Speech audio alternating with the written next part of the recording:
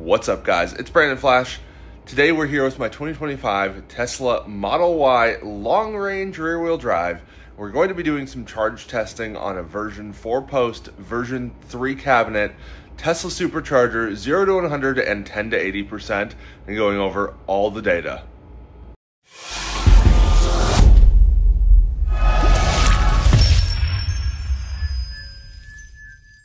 Well, you're joining me inside now. We're going to be going over all the data from my charging sessions.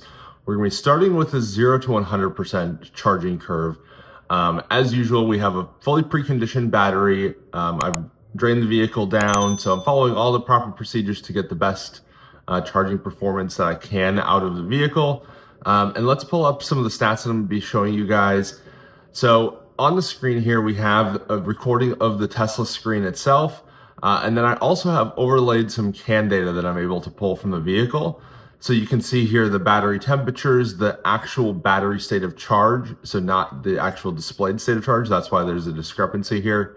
Um, the voltage, current, and on this screen, you're actually going to be seeing the voltage and current of the battery, not necessarily what's coming in the port. So again, there could be a bit of a discrepancy there between the battery power value displayed on the um, screen recording and what's on the Tesla screen uh, behind it. So let's get into it here. We're going to be starting with the 0 to 100% charging curve, and let's start playing.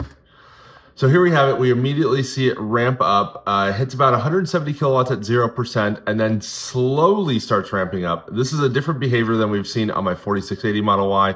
And then at about 4 or 5%, we hit the 250 kilowatt um, the battery pack temperature is starting to rise. It is heating up that battery.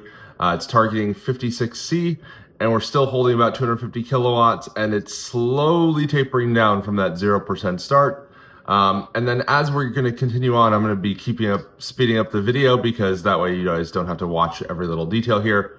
But we're still at about a thousand miles per hour of effective charging rate based on the rated efficiency.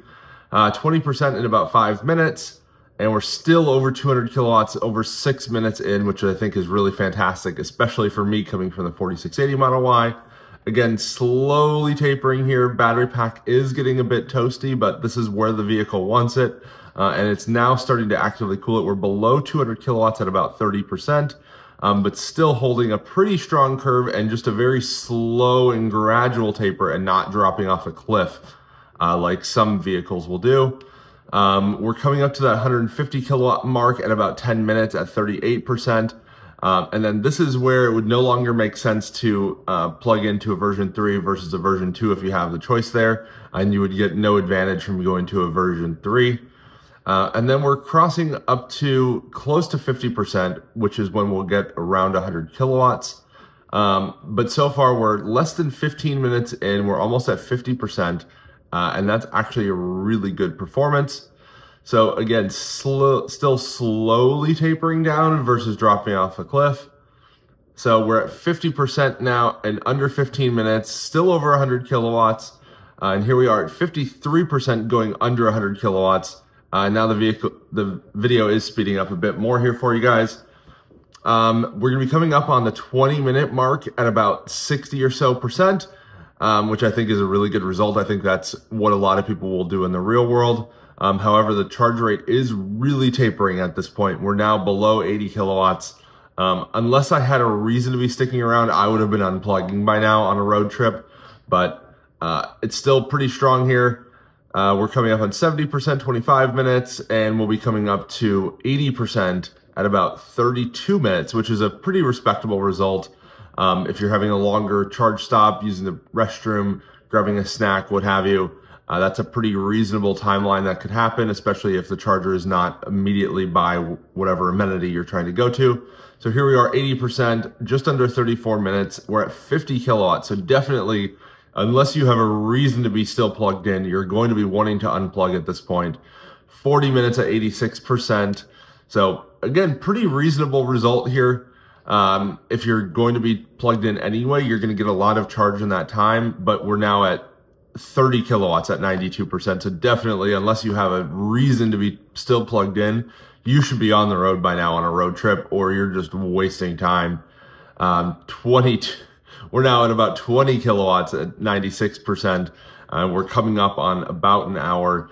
And realistically, I would call this full-ish um, because unless you're just letting it sit there while you're doing something else, you're never going to keep charging at this point.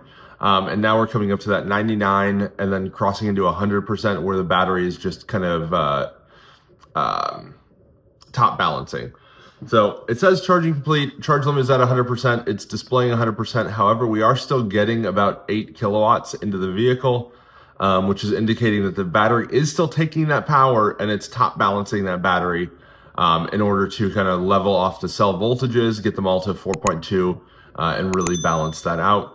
So here we are, hour 20 minutes. It was still charging, um, but I think no one is realistically going to ever be doing that. Um, and I think on a road trip, you're probably only going to want to charge to about 60% or so, unless you have a strong reason to, to charge deeper.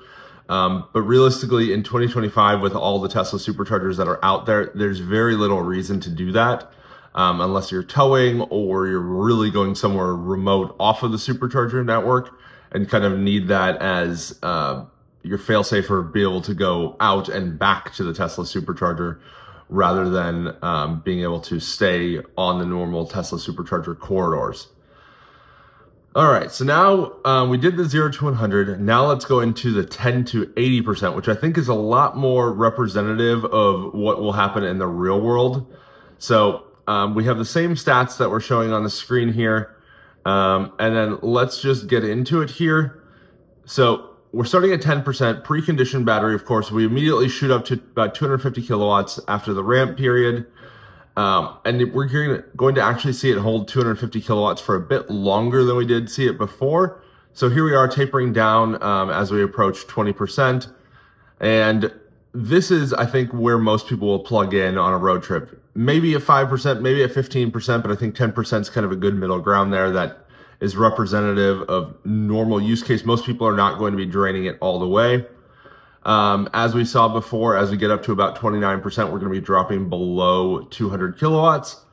Um, but it's again, a very gradual drop. Uh, and I think we're going to get some really strong power here throughout the charging curve. Um, and I'll show you guys where I would unplug again, pretty much around that 65% mark, like we saw with the zero to 100. Um, the charge curve doesn't change a whole lot going to the 10 to 80 versus the 0 to 100. Um, it does push the curve up a little bit because it doesn't hit its thermal maximum until a little bit later in the curve, so it's able to hold power a little bit deeper, um, but it's not a significant change, and the charge curve overall is about the same. So here we are, 10 minutes. We're at 45%, so that's pretty solid. If you have another supercharger that you want to get to, you could charge for 10 minutes and have over 100 miles of real world range added. Um, and then we're going to be coming up on 50% here, still doing over 110 kilowatts, so a little bit stronger than we saw on the 0 to 100, again, because of thermals. Uh, and then we're going to be coming up on the 15 minute mark. And if you watch my 10% challenge, you'll see this result. Um, so this added over 100 miles of real world range at 80 miles per hour and 15 minutes of charging by going to about 55% state of charge. And we're going to be coming up on 20 minutes here pretty soon, and we'll be at about 65%, which I would be unplugging at this point. There's, again, really no reason to charge beyond this unless you have really um, a reason to, which you'll, of course, know on your individual cases. But definitely get on the road in under 25 minutes, or you're just wasting time in a long-range Tesla. Uh, and then we're just going to continue on and it's still going to be just gradually dropping. We're going to go below 50 kilowatts as we approach 80% um, or maybe right around 50 kilowatts. Uh, and it's not bad to charge to 80%, but you're wasting time going over 65% and getting up to that 80% mark. But still 31 minutes, 10 to 80. It's not class leading. It's not impressive per se in 2025, but it's nothing to complain about either uh, especially adding over 56 kilowatt hours. That's easily 200-ish miles of driving range um, at reasonable speeds or about easily 150 at even higher speeds. So uh, overall, I'm very impressed with the charging curve on this car. Or actually, I wouldn't say impressed per se. Uh, it's a relative thing coming from my uh, Model Y long range, or sorry, it's a relative thing coming from my Model Y all-wheel drive, which had a pretty terrible charging curve. So having this pretty solid charge curve now is good. So here we have the 0 to 100% charge curve with the battery temperature overlaid. Uh, again, shout out to at Austy USA on X for putting together these charts for me. So you can see the visual representation of this charging curve. Uh, and then we have the 10 to 80 as well. So you can see it's a pretty linear drop. It holds that peak rate for just a brief moment uh, and then drops down. And you can see it also increases the pack temperature uh, as we charge. And then here we have charging power um, or the charge curve and over time. And I'll be putting all of these video or all these charts on Twitter as well. So that way you guys can uh, reference them as you wish. And here we have time charging versus 70 mile per hour range. And then C rate. So C rate kind of level up or normalizes it for battery capacity. So we're hitting almost three and a half C early in the charge curve. And then even throughout the curve, we're well over one C until we get pretty deep into the battery pack.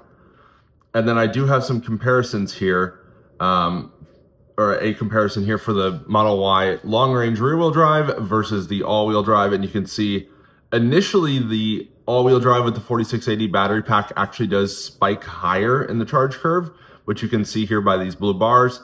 And then as the 4680 pack tapers down, and if you haven't already watched that video, definitely recommend doing that.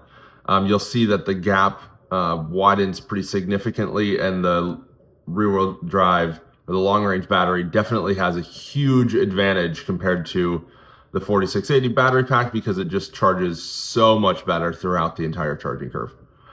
Anyway, if you have if you guys haven't already, hit the like button, hit the subscribe button.